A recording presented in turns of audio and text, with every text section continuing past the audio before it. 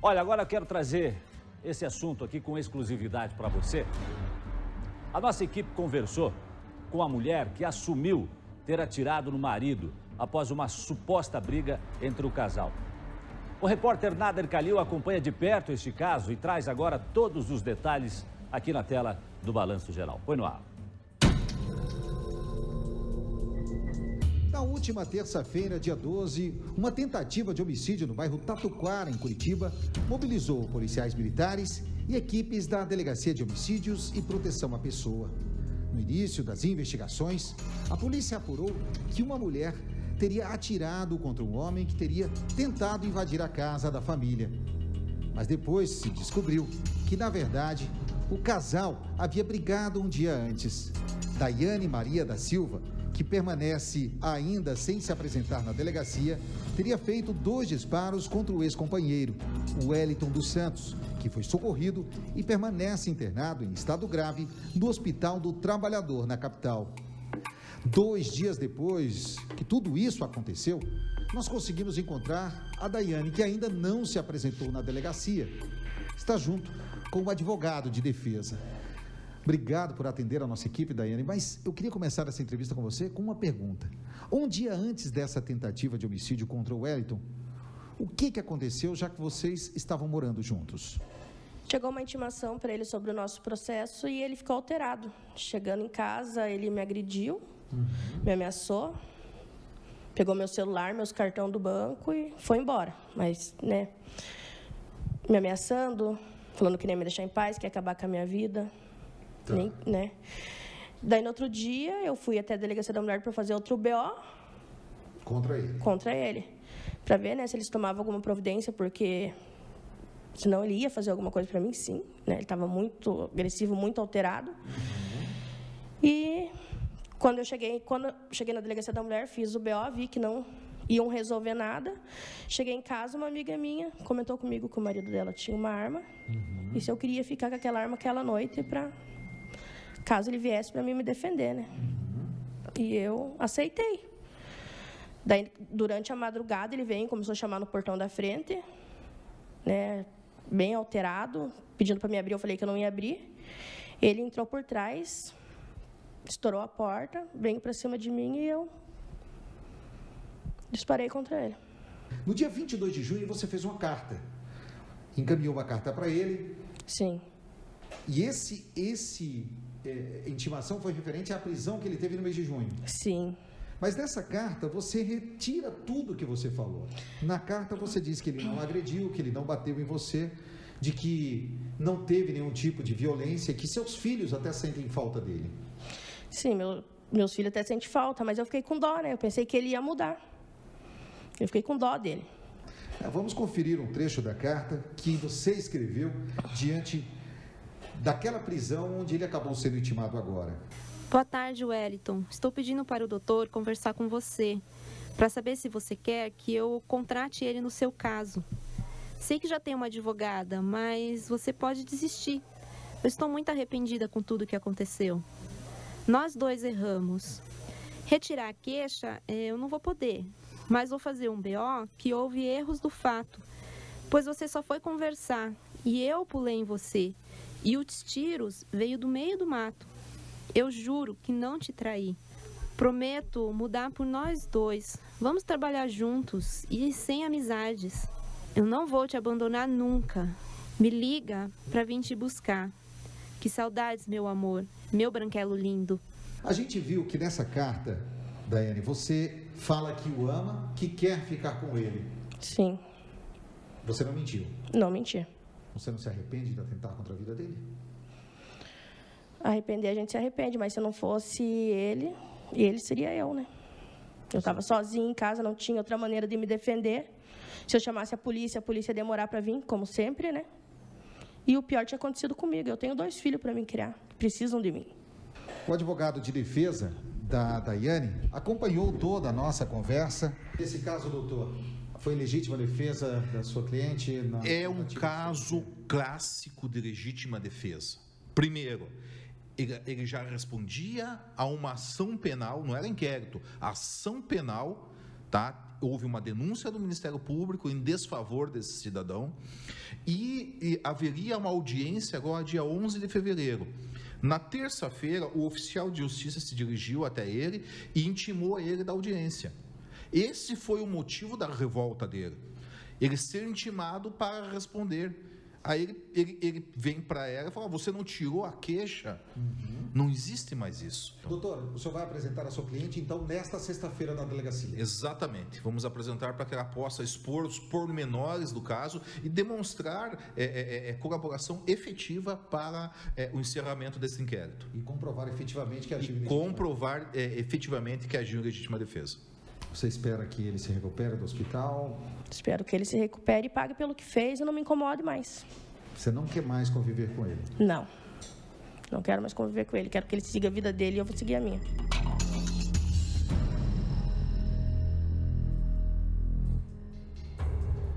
É uma história complicada, né? Até como eu estava conversando aqui enquanto acompanhávamos a reportagem do Nader, eu e a doutora Márcia, é um caso de violência que vai gerando violência. A doutora Márcia já vai falar sobre isso.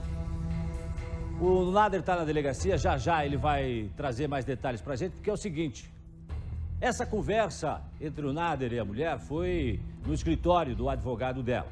E ela se apresentou hoje cedo à polícia. Daqui a pouco o Nader vai contar o que, que ela disse à polícia. É? Tivemos aí essa entrevista, tem aí esse momento, inclusive, do, da carta que ela redige né, para o ex-companheiro que é um. Aliás, é uma carta, doutora Márcia Marcondes, que traz para a gente, que acompanha esses casos já há algum tempo, mais ou menos aquele ciclo. A mulher se sente acuada, muitas vezes, vai, faz o depoimento, pede uma medida protetiva em determinados casos, e aí depois se arrepende. E aí se arrepende e volta, em muitos casos, eu conheço alguns pessoalmente. E depois retira a queixa, né? acaba retirando a queixa ou acaba perdoando o companheiro e a violência, infelizmente, continua. É, a coisa funciona mais ou menos assim, né? Existe uma, um momento da violência que ela ocorre, depois se acalmam os ânimos, aquela, o agressor vai lá e pede desculpa, diz que estava nervoso, aquele dia não estava bem, etc. Tal, e a vítima que já tem um relacionamento com ele se mantém nesse relacionamento acreditando que realmente tudo vai dar certo. Porque já deu certo algum tempo antes ela acredita nisso. Só que essa coisa vai piorando cada vez mais, cada vez mais. O, o, a violência vai ficando mais, vai ficando maior e além de ficar maior, ficam mais próximos os momentos de violência. Então é muito perigoso esse ciclo, sabe? Ele coloca muito, muito em risco a vida da mulher e em alguns momentos a vida do homem, né? Pois é, então daqui a pouquinho, doutora Márcia, a gente vai voltar com o Nader Calil para ver o que, que a mulher disse Ada, ah, no, no depoimento dela, né, na delegacia hoje de manhã. Nada já trouxe a informação de que ela já se apresentou à polícia hoje pela manhã e a gente vai voltar com o Nader daqui a pouquinho. Vamos ver se a gente já teve acesso, se a nossa equipe já teve acesso ao depoimento dela para trazer essa informação também para você. Deixa assim, vamos voltar lá com o Nader Calil. O Nader já está na delegacia, está a postos, Nader. A mulher ela prestou depoimento hoje de manhã. Você disse que ela já, se, já teria se apresentado na sua primeira participação. E aí agora eu pergunto para você se a gente já sabe o que ela disse à polícia, nada? Então, Gerson, ela está nesse exato momento prestando depoimento. Nós acompanhamos a chegada dela aqui por volta das 11h45 da manhã. A delegada que está investigando o caso, a doutora Camila, conversava com a representante legal por parte do Wellington dos Santos e nós repassamos à doutora Camila a carta a qual nós tivemos acesso e que mostramos com exclusividade aqui no Balanço Geral e também repassamos a ela o laudo psicológico que foi produzido, Jason, pelo setor psicossocial de atenção à violência doméstica e à família. Um laudo importantíssimo que pode aí mudar toda a questão que envolve esse primeiro processo ao qual o Wellington foi preso, saiu com a tornozeleira eletrônica, porque nesse laudo a Daiane diz que o marido dela, o companheiro dela, o Wellington, e eu destaquei aqui, e eu vou ler para você, para que a doutora Márcia também possa acompanhar. O senhor Wellington é calmo, quieto, sensível, trabalhador e não faz o uso de substâncias psicoativas. Esse laudo foi baseado nas declarações feitas pela Daiane após aquele incidente que acabou ocasionando a tornozeleira eletrônica. Por isso, é muito importante a gente saber o que está acontecendo nesse depoimento que ela está prestando agora, acompanhada do advogado e também da representante legal contratado pela família do Wellington, que permanece internado no Hospital do Trabalhador. Jason. Ô, Nada, você trouxe na sua reportagem aí, inclusive, um trecho de uma carta que ela se arrepende e pede uma reaproximação aí com o ex-companheiro. Em que momento foi que ela mandou essa carta pedindo aí um retorno ou até mesmo esboçando uma, uma ajuda para ele? 22 de junho de 2020, dias após o Wellington estar preso. E ela começa a carta dizendo: Boa tarde, Wellington. Estou pedindo para o meu advogado conversar com você para saber se você quer que eu contrate ele no seu caso. Sei que já tem, você tem uma advogada, mas você pode desistir dela. Estou muito é, arrependida com tudo que aconteceu. Aí ela cita nessa carta escrita de próprio punho as questões que envolvem. Ah, nesse momento, ela está saindo aqui já, eu vou pedir pra, a licença para quem nos acompanha, o advogado está saindo. Doutor, tudo bem? Como é que foi o depoimento? Tudo bem, foi tranquilo, né? ela demonstrou a legítima defesa, né? É, está mais que configurada a legítima defesa, um caso clássico de legítima defesa, e ela está saindo agora. É possível, né, é possível que devido aí a, a, a, a, facilidade que foi demonstrada a legítima defesa, as provas são extremamente robustas no sentido da legítima defesa, é possível que ela nem responda ao processo. Né? Eu vou perguntar, Daiane, valeu a pena ter vindo. Não estamos mostrando você, eu só me abaixei por causa do microfone e da máscara. A câmera está em cima, pode ficar tranquila. Você contou tudo como você falou para a gente ontem. Sim, tudo. Alguma novidade em relação ao que você já havia falado para a gente? Não. Diante de tudo isso, bateu hoje o arrependimento de ter feito o que fez? Não tenho nada para falar, já conversei aí, já conheci tudo que fala. Arrependimento não é a palavra. Quem se defende, veja bem, quem se defende protegendo a própria vida não pode ser, não, não, não pode se arrepender. Aí a pergunta é o seguinte: você se arrepende de ter defendido a sua vida? É óbvio que não, ela não, não há que falar com todo o respeito, ela não tem que se arrepender, ela, ela defendeu a vida. Até aproveitando, há a possibilidade de você mais uma vez voltar atrás, já que eu estava nesse momento falando da carta que você escreveu, da outra oportunidade? Não, só quero que ele siga a vida dele e pague pelo que ele tentou me fazer. Voltar, contratar um advogado para defendê-lo novamente, você não vai fazer isso? Não relação à carta que você disse que os seus filhos o amam e que sente falta do seu branquelo, isso também não vai acontecer? Não. Mas essa carta foi você que fez mesmo da outra oportunidade? Nada a dizer. Mais alguma coisa que você queria dizer, pelo menos para a família dele, para a mãe dele, que você disse que gosta muito de vocês? Nada a dizer. Aí, doutor, eu acho que é isso, né? É isso. Essa carta só é, é importante, foi muito bem destacado essa carta. Essa carta é, é, é, é muito conhecida no meio judiciário, no meio da polícia. A mulher, o, o marido vai lá, sob ameaça, só faça uma carta, tire a queixa. Hoje não é mais possível isso. Então é o que aconteceu. O marido falou: ah, você tem que tirar lá para a gente poder voltar. Você me ama. É aquela e o laudo psicológico, doutor? Aquela... O laudo psicológico, onde ela assume que consome bebida alcoólica, toda aquela questão também? É, na verdade, o que é um laudo psicológico? Ela dá uma versão para a psicóloga, a psicóloga vai formalizar no laudo aquela versão. Ela deu a versão para inocentar ele, para que tentasse ter uma paz né? Isso é normal no meio, no meio da polícia, no meio judiciário. Quem está no meio sabe muito bem disso. Inclusive, os repórteres do meio policial do, né, entendem isso e sabem disso, que isso acontece com muita frequência. Foi legítima defesa tudo? Perfeita, foi uma legítima defesa clássica da doutrina. Clássica. Invasão de domicílio? Invasão de domicílio, ela estava em casa. Detalhe, ela pediu socorro ao Estado naquela tarde. Né? E naquela tarde, o oficial de justiça foi intimar ele para que ele comparecesse na justiça. Esse foi o estopim da revolta dele. E por isso que ela teve que se armar para se defender. É um caso dos mais clássicos que eu já vi em mais de 20 anos de advocacia criminal. Sobre a arma, do, doutor, em relação a ela ter a aquisição dessa arma, em relação à arma, ela vai indicar quem deu a arma a ela? Não, ela não quer prejudicar, ela não quer expor, né? Terceiros que, na verdade, ajudaram ela. É um direito que assiste a ela.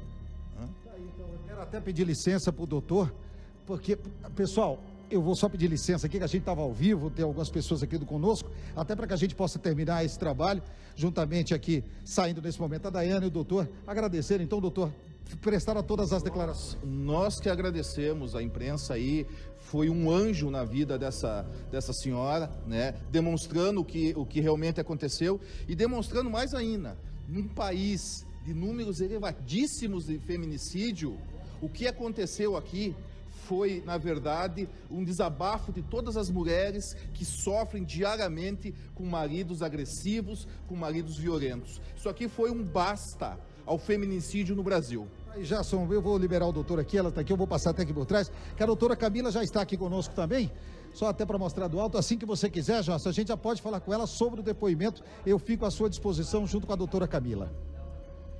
Então, vou aproveitar, doutora, como foi esse depoimento? Vou sair mais para cá para não atrapalhar as entrevistas, eu vou pedir para o Paulão ficar ali, para que a gente possa conversar.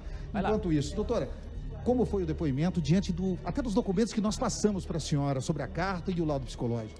É, então, ela prestou a versão dela né, a respeito dos fatos, falou que vivia um, um relacionamento abusivo, né, na, isso segundo o que ela relata aqui nesse interrogatório. É, ela explicou a respeito do dia dos fatos, ela disse que como no dia 12 ele teria ameaçado ela, naquela mesma data ela acabou pegando uma arma com uma pessoa é, e foi para casa. E assim que ele tentou então invadir, ela efetuou os disparos com essa arma de fogo é, ela foi questionada né, a respeito do fato que a gente tomou conhecimento hoje de que quando ele foi preso a primeira vez por feminicídio, ela teria feito uma carta né, é, falando para ele que, que a culpa era dela, que se arrependia, que havia mentido. É, ela foi questionada por mim sobre isso é, e ela disse que fez essa carta por amor para tentar livrar ele da cadeia porque gostaria de viver junto com, com ele. É, essa é a versão dela. Nós esperamos que a gente possa ouvir a versão do Wellington também. Aguardamos nos próximos dias, segundo as informações, ele está começando a melhorar. Então a gente espera ouvir dessa vez a versão dele e chegar a uma conclusão sobre esse inquérito. Eu vou aproveitar, vou abrir a comunicação com o Jasson, com a doutora Márcia e vou deixar o telefone bem perto aqui para que ela também possa ouvir você, Jasson, e também a doutora Márcia. Pode falar, Jasson. Ok, em primeiro lugar, boa tarde, doutora Camila. Obrigado mais uma vez por conversar aqui com o Balanço Geral. Eu estou aqui com a doutora Márcia Marcondes e ela tem uma pergunta para fazer para a doutora Camila. Pois não, doutora Márcia? Boa tarde, doutora Camila. É, eu gostaria de saber quantos foram os, os disparos feitos por ela. É, ela não afirma quantos disparos ela fez, né? Ela diz que fez alguns disparos só, mas que ela não relembra exatamente. Ela utilizou um revólver, né? Então a gente é, também não conseguiu ali ter vestígios de quantos disparos foram efetuados. Então ela não deu essa informação, falou que estava muito nervosa e não, não tem com exatidão o número dos disparos que ela efetuou. E, doutora. É... Pode continuar falando ah. já, doutora, que a doutora Camila está ouvindo. É, doutora, me diz uma coisa, em que momento ela parou com esses disparos? Já que ela não sabe efetivar quanto, contar quantos são, ela parou quando ele caiu, ela parou quando... Em que momento ela parou com os disparos?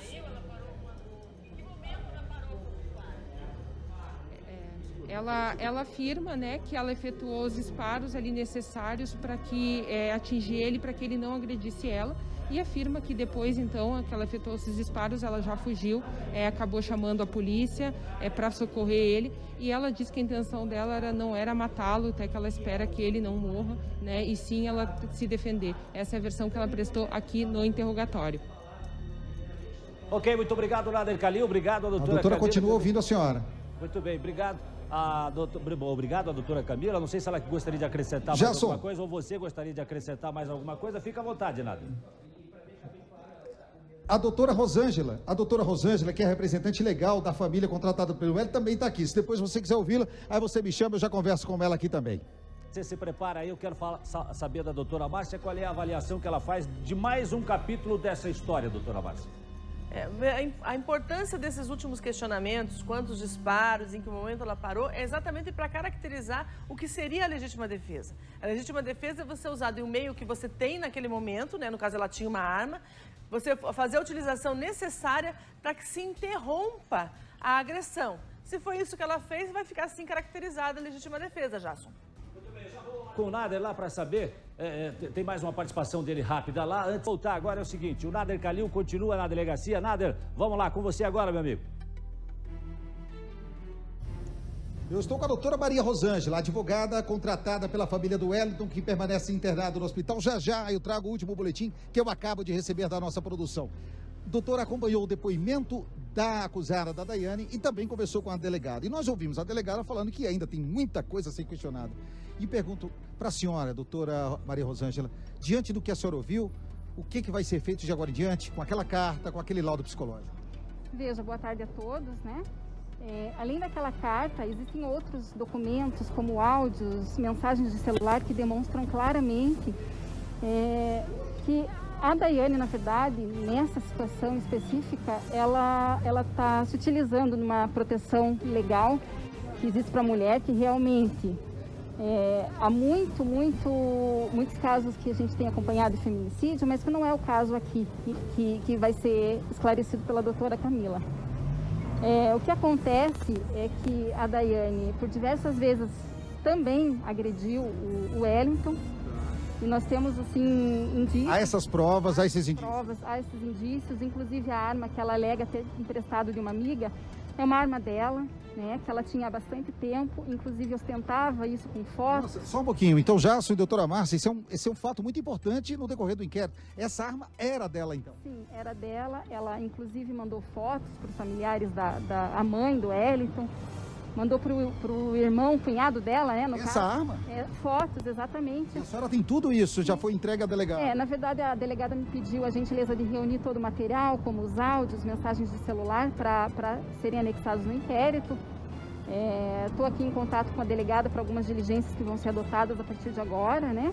Então, para a defesa, na verdade, o Wellington é vítima de na toda verdade, essa história. É, é, com certeza a conclusão do inquérito vai chegar é, ao resultado de que, de fato, ele é vítima né, de um relacionamento que já vinha sendo é, abusivo. E, e, ao contrário do que a gente vê muito comum, é, o Wellington, ou melhor, a Daiane, que exercia a, a posição de autoridade no relacionamento. Para a senhora, então, ele foi preso de forma injusta, usando tornozeleira de forma injusta e agora quase foi morto de forma injusta. Exatamente, exatamente. E o que a gente pôde observar por todos os relatos de conhecidos, familiares dele, Inclusive a mãe dela, por vezes, pediu para a mãe dele falar: leve teu filho embora porque ele não merece essa vida que ele está tá levando aqui, né? E exatamente, acabou tá indo, mas foi, foi buscado por ela e acabou retornando, né, para essa situação. Doutora Maria Rosângela, então uma situação já que deve nas próximas, nos próximos capítulos aí trazer muita novidade. Eu volto com você nos estúdios. Tá bom, Nader, obrigado. Agora, doutora Márcia, só tem também o posicionamento da defesa aí da, da, da vítima, né, que está inclusive no hospital. Doutora ser esclarecida como funcionou essa dinâmica desse relacionamento todo e bastante importante o que aconteceu. Nos, a gente sempre fala dessa última cronologia, né? É, mas aí, nesse momento, se ele não estava em casa, por que, que ele teria feito essa entrada efetuando o arrombamento? Isso já teria acontecido antes, de repente faz parte da, da rotina, digamos, do casal. Então, isso tudo tem que ser avaliado, porque ele não se sentiria em risco fazendo essa, essa entrada. Então, alguma coisa assim que ainda, como dizer, ainda teremos mais capítulos nessa novela, né? Novelas da vida real que você acompanha aqui no Balanço Geral.